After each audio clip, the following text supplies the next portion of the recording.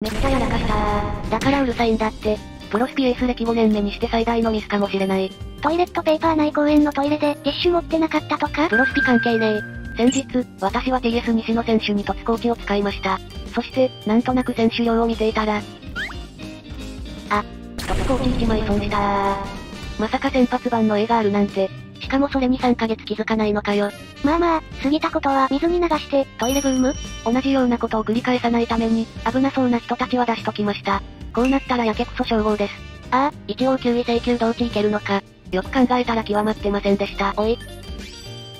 同値が決まるのは ?9 位請求4差なので、星2の針の穴を通す請求オンリーです。最難関じゃねえか。まあ5%しかないので無理だと思いますし、極意書1枚で星3とかつけばいいかなって感じです。